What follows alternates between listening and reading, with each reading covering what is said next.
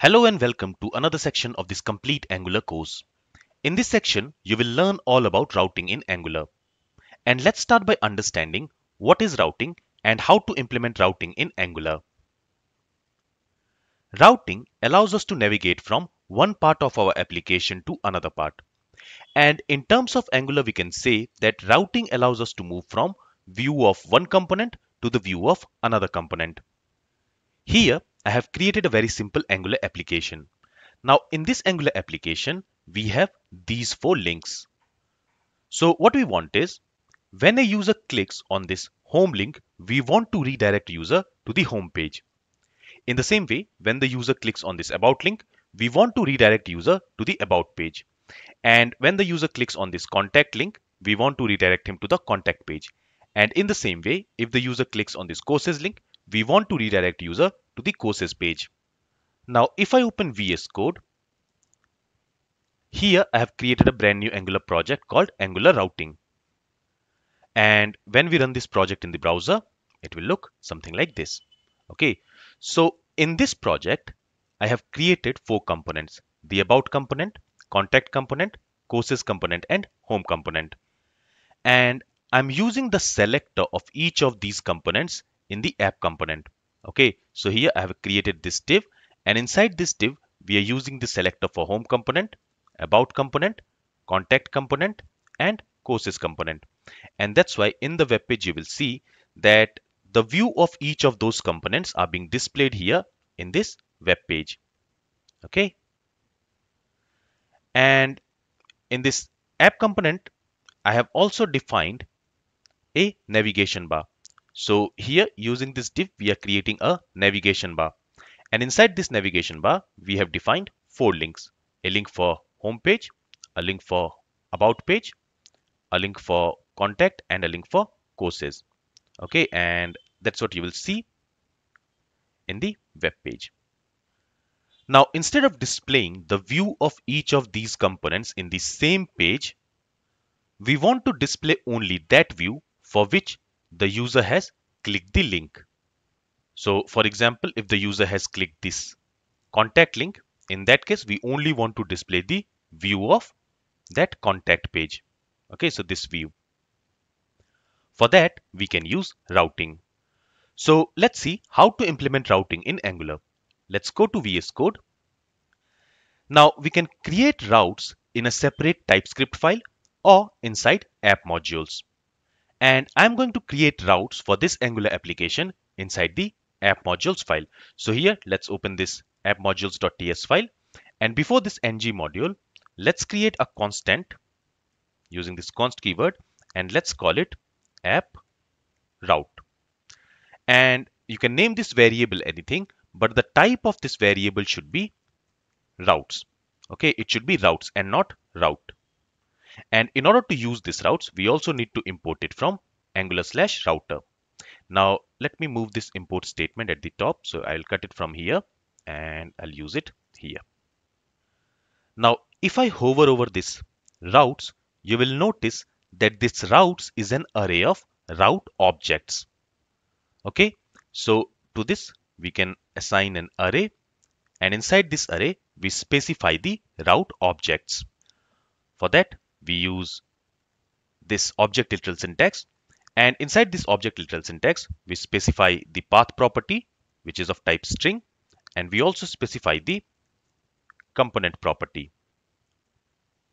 And to this component property we can assign a component class. For example home component about component etc okay so what we want is when a user types root url slash home in the address bar in that case we want to render the view template of home component. So to the path, we have assigned this path home. And when this path is typed in the URL, we want to render the view template of home component. So to this component property, we can assign home component class. And in this way, we have created one route.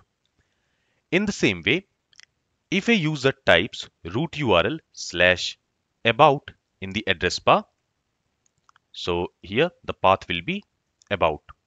In that case, I want to render the view of about component. So to this component property, we can assign this about component class. Okay, in the same way, let's also go ahead and create routes for contact and courses. So here, let's specify the path as contact and when this path is typed in the URL, we want to display the view of contact component. And in the same way, let's also specify a path of courses. And when this path is typed in the URL, we want to display the view of courses component. Okay, so in this way, we have defined four routes. But our Angular application does not know about these routes yet. So to make this application know about these routes, we need to register this app route. And to do that, in this imports array, we need to add router module. So let's do that. So router module. And in order to use this router module, we also need to import it from angular slash router. Now on this router module, we can call a method called for route. And to this forRoot method, we can pass our route. So we are storing our route inside this app route constant. Let's pass this to this forRoot method. And with this, this Angular application knows about these routes. Finally, we need to tell Angular where to display the view when one of these paths are typed in the URL. So in this case, we want to display the view inside this div, which we have created inside the app component.html. So from here, let me comment these selectors. Okay. And here we can use a directive which is router hyphen outlet. So this router outlet is a directive that tells Angular where in our page we want to display the view. And we do not have to import this directive. That's because this directive is imported when we imported the router module in our app modules file. So when we imported this router module here, with this, this directive also get imported. Okay, and with this, the routes should be working now. So let's save the changes. Let's go to the web page. And so you can see for the root URL, no content is being displayed. Okay, now let's type root URL slash home. Press enter and it is displaying the view of home component. Now let's type root URL slash about and now it is displaying the view of about component. So in the route you can see that when in the URL the user types this path home then it will display the view template of home component.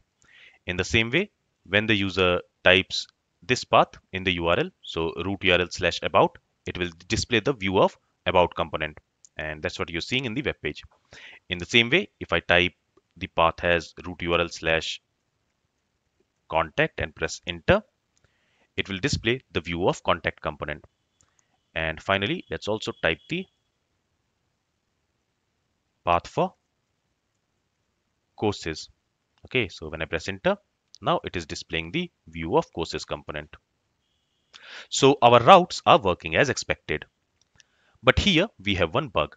So the bug is if I remove these paths from here and if I only type the root URL and press enter, in that case it is only displaying the navigation bar. So it is only displaying this navigation bar and it is not displaying any other content.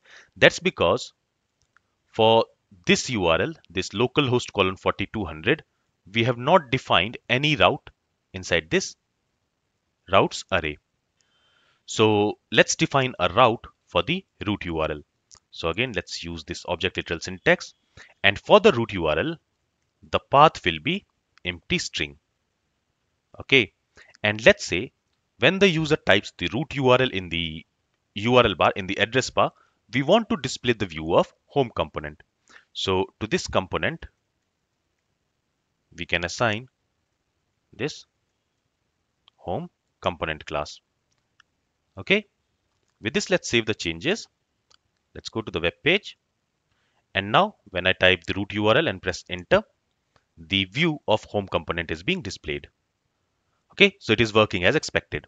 So this is one way of defining a route for the root URL. And this route, the route which we define for the root URL is called as default route. So this is one way of defining a default route. Another way is, so let me comment this line. And let's again use an object literal syntax here. So another way is we can specify the path as empty string for the root URL. Then we can use another property which is redirect to. And to this we can specify the path to which we want to redirect the user when the user enters the root URL.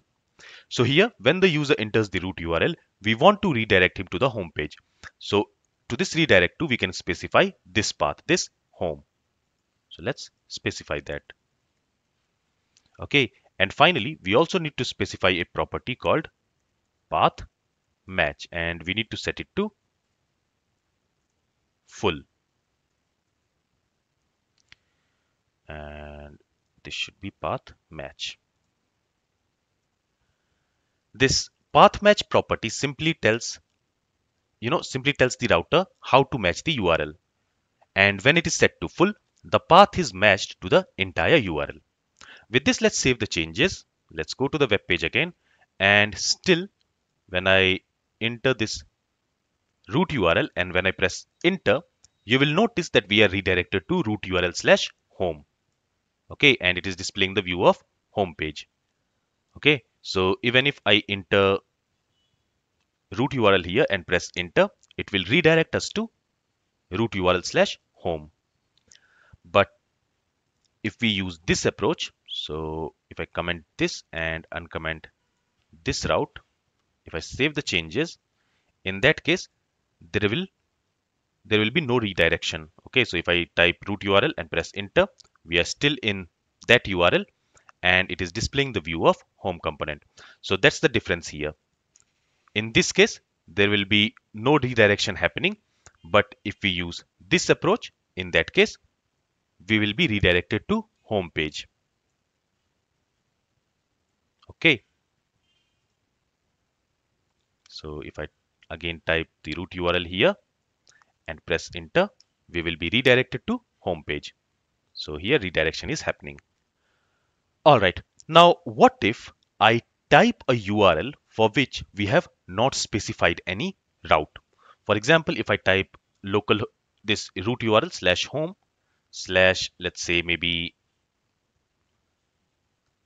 login and when I press enter you will notice that we are seeing this navigation bar but there is no content shown here and if I open developer console, you will see that here we have an error.